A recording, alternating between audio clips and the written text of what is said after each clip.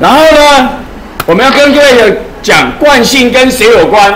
我们国中程度只告诉你惯性跟质量有关，质量越大，惯性就越大。它其实还会跟速度有关，速度比较大的惯性比较大，是在高中会叫做动量，质量乘叫动量。我们国中没有，所以国中只教你质量比较大的惯性就比较大。所以呢，你们上一次看他打铜砖，打得很顺，对不对？我请你们去敲那个象棋的时候，感觉会有点动，有点歪，对不对？因为惯性比较小，因为质量比较小，会比较小的关系。那么这里的影片来告诉你，它跟惯性有关。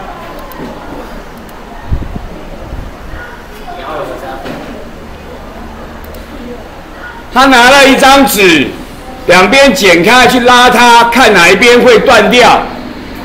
以自己拉降拉的时候，你很难控制两边一样大，同时拉是会断在一边，断不断？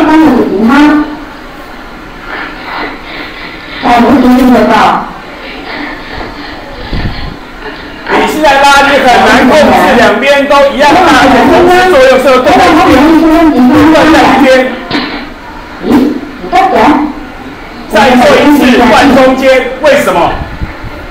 再做一次就断在中间，两边断掉，中间掉下来，为什么？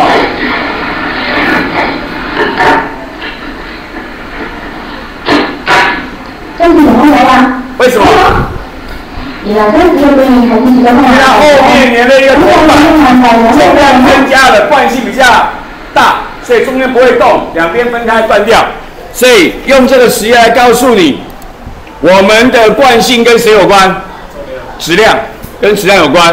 另外还跟速度有关，系我们国中不讲，我们就是跟质量有关就可以了，就是告诉你我们的惯性跟什么东西有关，可以吗？可以。最后做复习，这个我们看过一部分了，有康轩的动画，来跟各位解释三大运动定律。牛顿第一运动定律，惯性定律。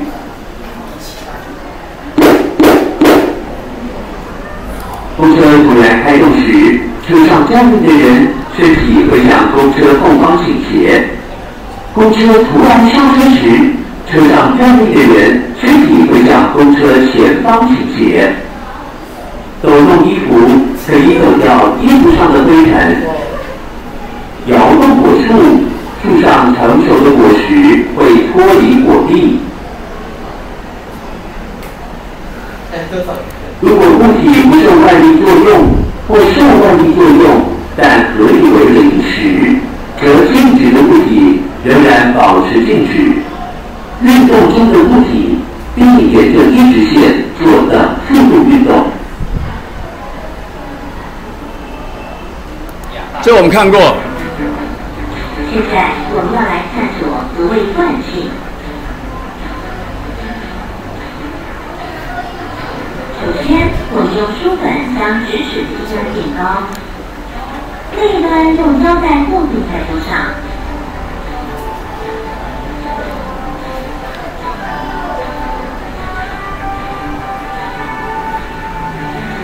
将粘土捏成的小雪人拼放在玩具车的车顶上，再将玩具车置于直尺较高的一端，将玩具车释放。当玩具车掉到底后，会发现小雪人继续前进而背离车子。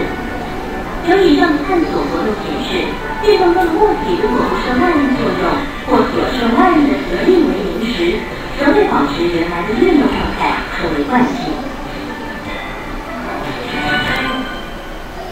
好，这就是康轩的影片，重复我们教的牛顿第一运动定律：物体不受力或合力等于零时，静者恒静，动者恒坐，等速率直线运动。